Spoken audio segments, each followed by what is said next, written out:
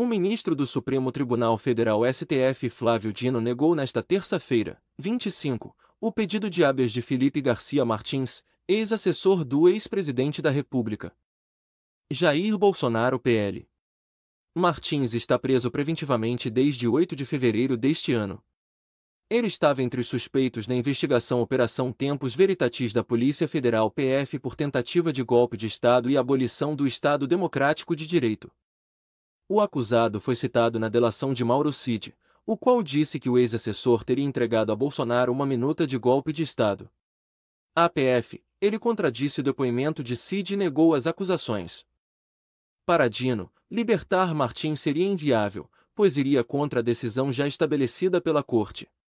Em fevereiro, o ministro Alexandre de Moraes permitiu que a PF cumprisse as ações necessárias na investigação referentes à tentativa de golpe em 8 de janeiro. No caso, a previsão preventiva foi autorizada sob a justificativa de que havia risco de que o investigado fugisse do país.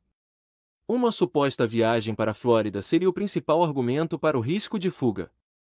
Segundo a PF, o nome do ex-assessor estava na lista de pessoas presentes no avião em presidencial com destino para Orlando em 30 de novembro de 2022. A defesa tenta reverter a prisão sustentando que não ocorreu a ilusória viagem imaginada pela Polícia Federal. Os advogados do réu apresentaram recibos do aplicativo de pedido de comida e food, bilhete aéreo e comprovante bancário referentes ao período em que ele estaria fora do Brasil. Porém, as provas não foram suficientes.